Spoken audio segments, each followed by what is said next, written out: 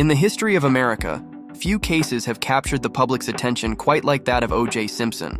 From his rise as a football icon to the infamous trial that divided a nation, the story of O.J. Simpson is one of tragedy, controversy, and enduring mystery.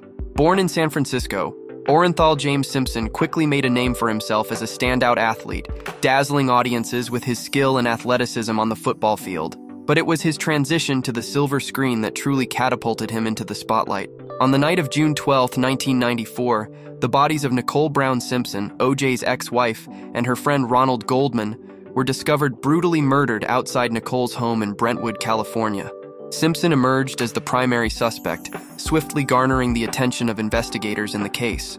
On the scheduled day for his surrender, he evaded authorities by embarking on a slow speed pursuit in a white Ford Bronco alongside a former teammate, traversing the streets of the Los Angeles region before ultimately being apprehended by law enforcement. What followed was a trial that gripped the nation, pitting the prosecution against the defense in a battle of wits and evidence. Prosecutors argued that Simpson, fueled by jealousy and rage, had committed the heinous crimes, while the defense countered with claims of police misconduct and racial bias. In a pivotal moment, OJ struggled to fit his hands into a pair of blood-stained gloves, allegedly found at the crime scene, leading to the now famous phrase, if it doesn't fit, you must acquit.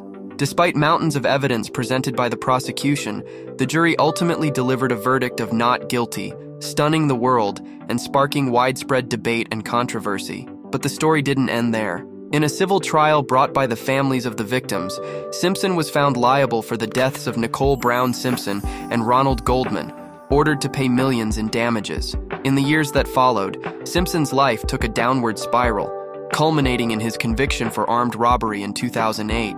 The case of O.J. Simpson remains one of the most compelling and controversial chapters in American legal history, a cautionary tale of fame, justice, and the enduring search for truth.